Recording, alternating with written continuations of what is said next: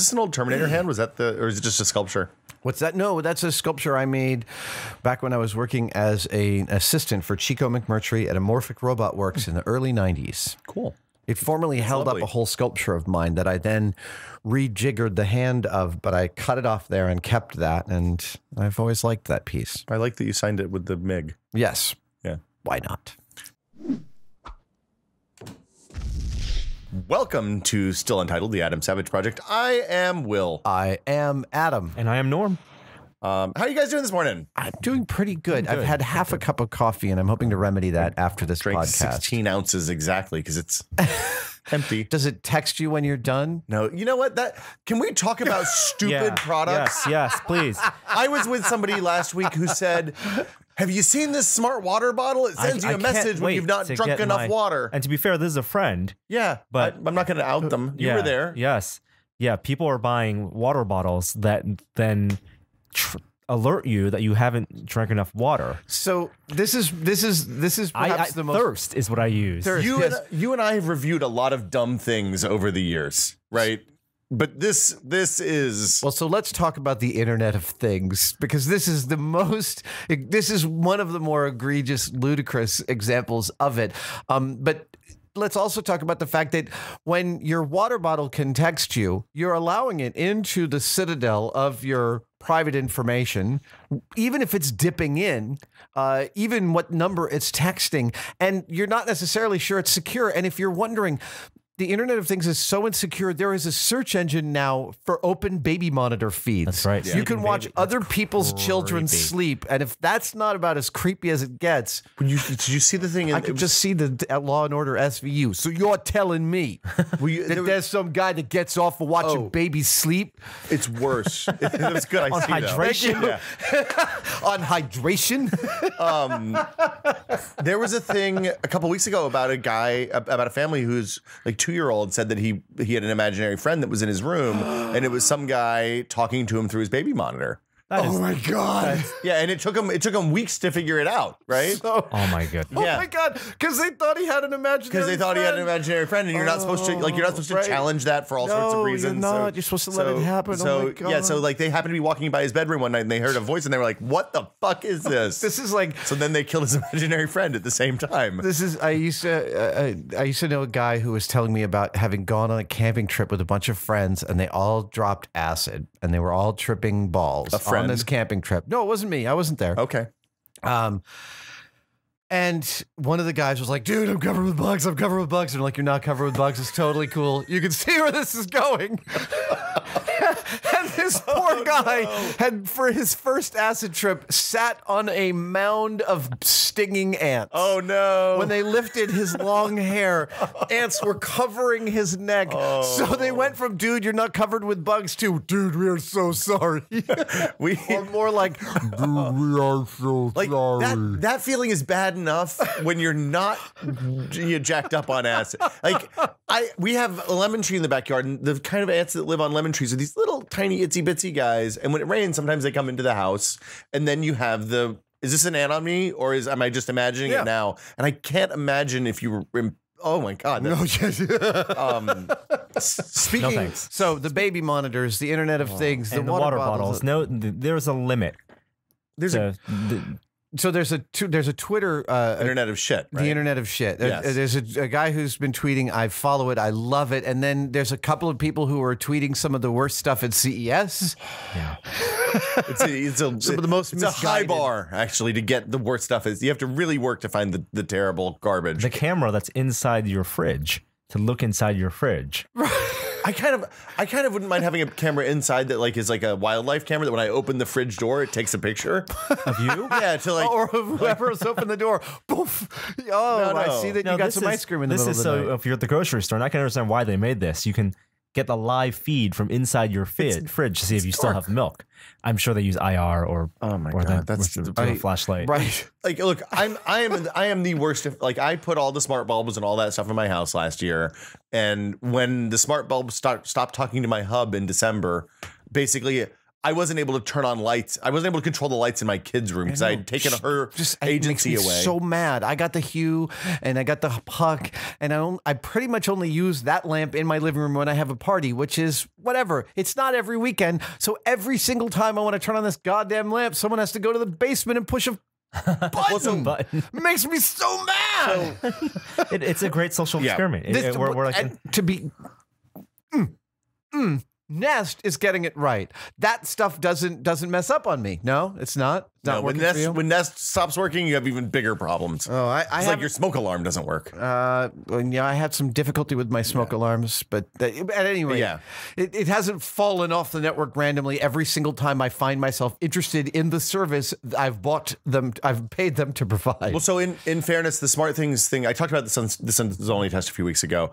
Um, I did actually finally get through to support, and they walked me through a process that was laborious and time intensive. And if I had a house that was any larger at all, it would have not at all been worth it. But everything works again, and you know, the internet of shit. and so much of it is tied through, you know, your router, which is possibly, if you have a bad one, the most unreliable piece of technology. The house. least secure. Yes, and Yeah. most right. inconsistently performing. Um, so anyway, speaking you saw of some camp, future technology. yeah. So um, Speaking of camp, speaking of camp, Camping. uh, you're- we the talked about ants- camping with the nice, ants. well done. was a I terrible thought you se- were bringing drag queens into Norm's the good at discussion. segues. I'm not so much. Um, so I was in Chicago I think last you're weekend. both terrible at. you, you, we've talked about the defining characteristic of podcasts, right? Yes. Is that you have to call out the segue. yeah, We stopped doing it for a while because people complained. I think it's charming personally. people on the internet complain. I know it's shocking, isn't it? Um, so I was at uh, in Chicago for a unconference called OrdCamp, and an unconference sounds like the like the most horrible, douchey San Francisco Silicon Valley thing that you can imagine. It kind of is, but it's it, the it's good. It's it's a it's an interesting fun. experience. Yeah, it's always. I, this is the second year I've gone. Um, and it's based on what started as Foo Camp here in San Francisco, or I think in Sebastopol. It's a thing that O'Reilly does, and it basically is an idea. The idea is that you, if you bring a bunch of interesting people together and then let them set the the agenda, you're going to have you you something. It will be a good event. Right. Um, and it, it, it I've been twice so far. It has been a good event both times. Well, and Um, it- is sort of it- one of the things about the EG conference that I've loved for all the years that I've been going, which is almost all the years it's been going, um, is hanging out with the other presenters. I mean, that's yeah. You know, I'm going to TED, and I'm really looking forward to it. They they're very insistent when you go to TED that you stay the whole week, so I am. Um, but it it is sort of like a, a conference without a conference. That I mean, that's exactly it. So the the structure of the Foo Camp and Ord Camp, I, I don't know how different Foo Camp and Ord Camp are, but the way Ord Camp works is you you show up. Are they going to fight someday? Going to rumble? I mean, that would be. I think the Chicago. I'm putting my money on the Chicago people, not the nerds. Um, so you show up. There's like an opening session where they kind of break everybody off into little groups. So they so they tell you here's how this works, um, and it gives you some. If you've never been, you don't know any people there. It gives you some familiar faces so that you can kind of latch on if you get anxious or nervous or whatever. Um, to be sure, it can be anxious, anxiety inducing to be at some of these things when you're talking to, oh, you're the guy that invented the thing. yeah, I'm I, like high imposter syndrome. Yeah. it, it- it's hard. Yeah, I mean, it's easy to fall into that. Um, but you do that. There's an opening session. They do a disrupt, which is uh, like they kind of like um, it's a presentation where you have five minutes. You have I think 20 slides or something like that, and the slides advance every five seconds, regardless of whether you press the button or not. You can't speed them up or slow them down. Uh, and people like tell funny talks. This was probably the best disrupt.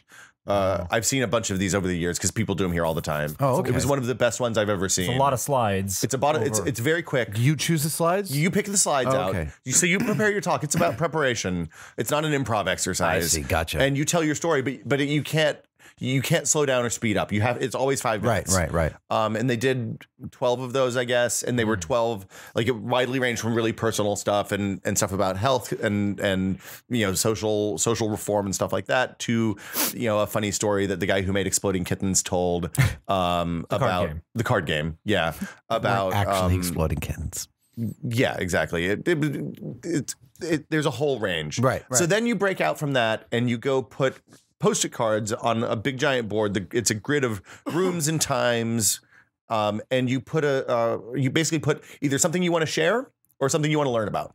Um, so you know those topics range from super serious stuff like alcoholism and and you know drug policy reform to uh, horseback archery.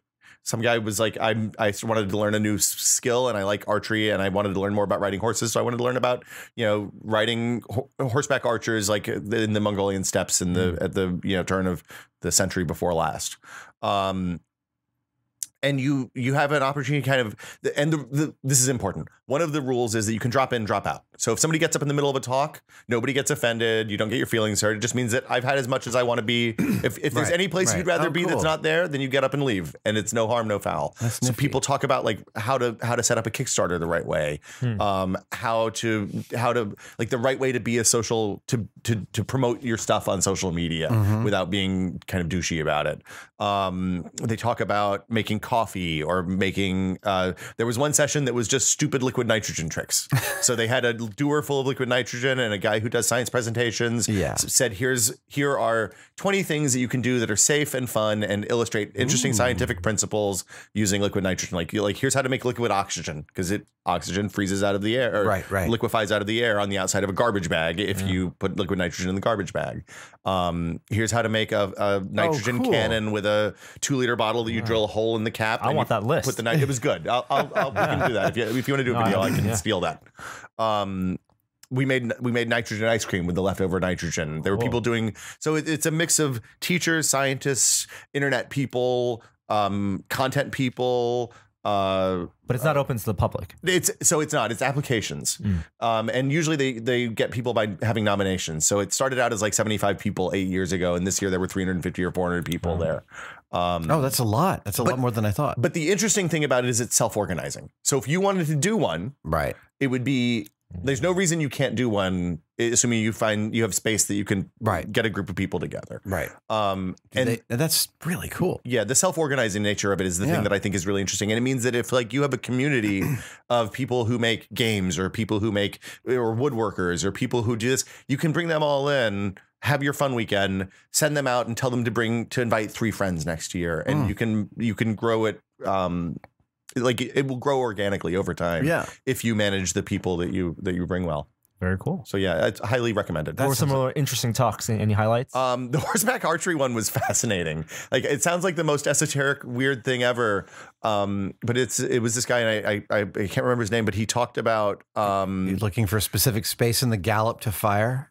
Well, uh, no, it's not even that. It's it's a it's a completely like normal archery. You you take your shot and you line up. You take a really long time and you line up the shot and you get it exactly right. And with horseback archery, it's much more about just kind of developing the instincts to fire quickly. Because like if you're riding at a canter or a gallop and your target like it's a it's a competitive sport. Mm-hmm. You ride down a straight line for the most part, and there's targets on either side, and you have 12 shots and you have 10 targets or something like that. And you want to hit the targets.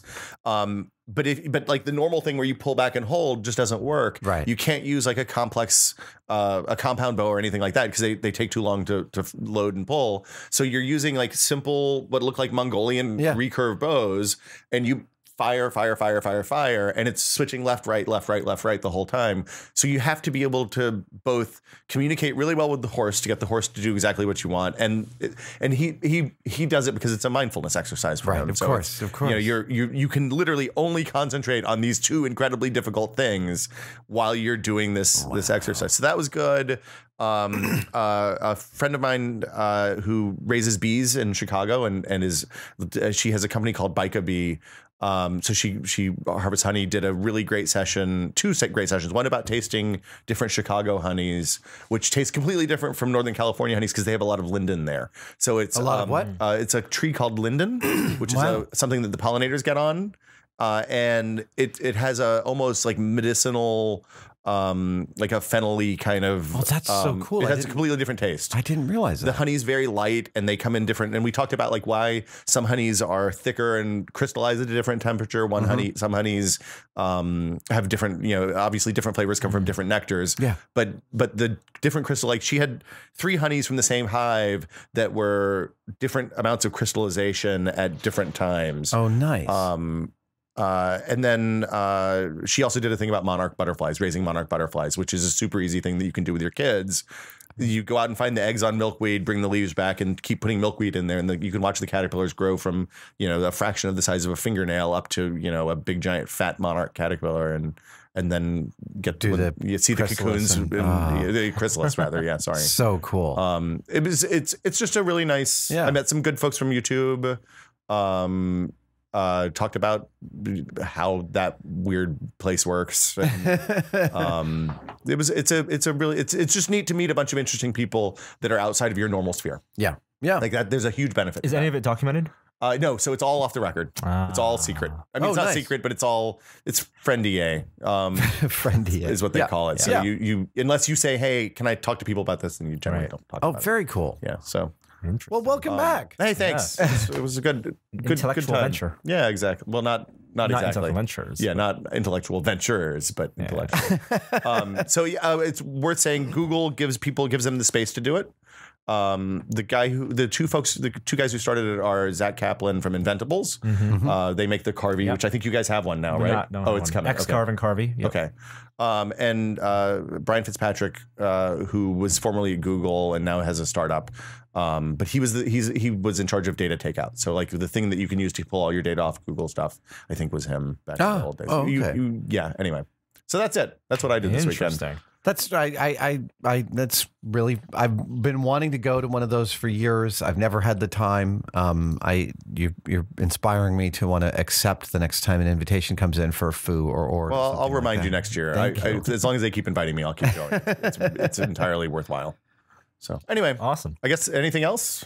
Uh, have you guys been watching anything? Enjoying any anything in media? Let's see. I watched Jessica Jones. You finished Jessica Finished Jones. Jessica we talked Jones. about that. Yeah, I know you think. talked about it with Rebecca. That was a great podcast. I, Oh, I it was record- really I fun. watched all of uh, Fargo. Oh, how's that? I haven't watched it. It's, it's really good. There's too Yeah. much good TV these days. It's almost driving me crazy. Um, I started to watch the X Files and fell asleep on the couch because I was up until five o'clock in the morning on Sunday.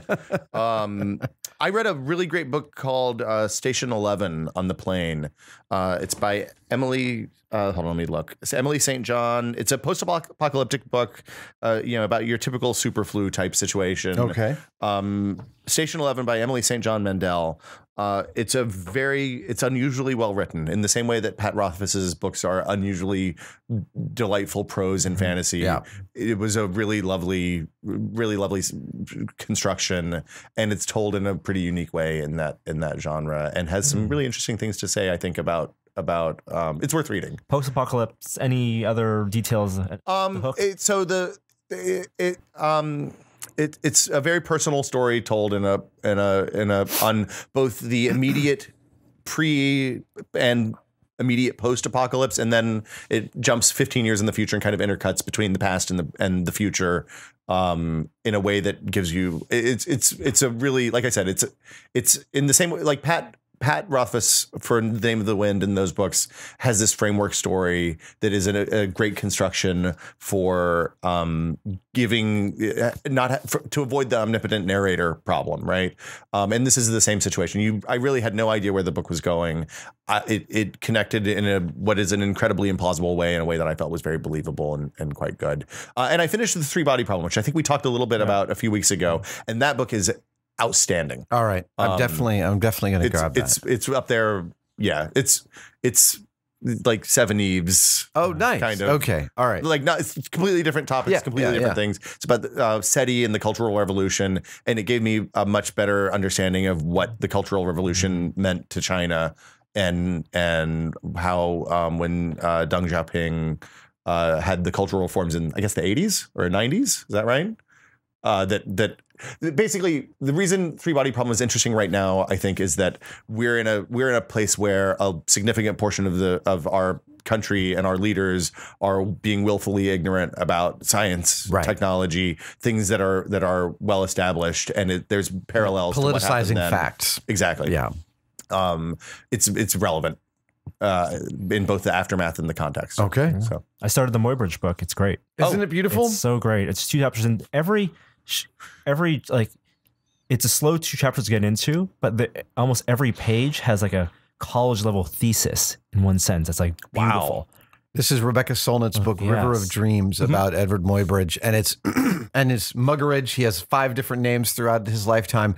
It's beautifully written, and you're right. Yeah, there's a tremendous. There's many more ideas presented in the book than are actually Yeah. thought all the way through. It's- right. Just like ideas like, oh, as trains were being developed, you know, they were digging into the earth and the, just the explosion of geology sl- like expanded time as trains collapse time. Like, Right. what? Oh wow. Yeah. Oh. Oh, ton- that's yeah, great. you're right. Norm's right. It's every page is packed with stuff like that, and it's San Francisco based, right? Uh, he did yeah. most of his career here. Awesome. I think that's as good a place as any to. Yeah, I, I think that's a good, a Bit of a run. quiet podcast. we also week. like take, taking recommendations from from you guys out there. Absolutely. What have you been enjoying reading, watching, listening to? Uh, again, there's so much good stuff to go go around. Yeah. Okay. Uh, we'll see you guys next week. Thanks for watching. everybody. Like us on uh, YouTube, Facebook, iTunes podcast, all the places you can just press that thumbs up or the th- it's fine. We love feedback. see you guys next week. Bye, guys. Bye. Bye. And I'm out of practice on that.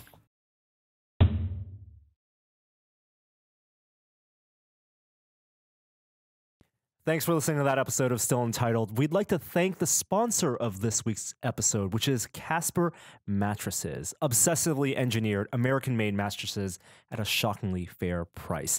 And now you can get $50 toward any mattress purchase by going to casper.com slash untitled and using the offer code untitled. You know the deal. You spend about a third of your life sleeping. Make sure you're doing it on a good mattress. Casper brings together two comfy technologies.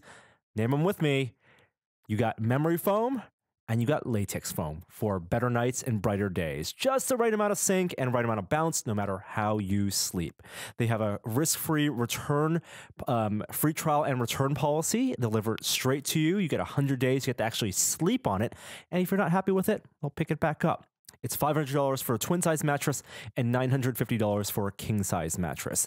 And you can get $50 off any mattress purchase by going to casper.com slash untitled and using the offer code untitled. Terms and conditions may apply, and we'll see you next week for another episode of Still Untitled. Thanks a lot.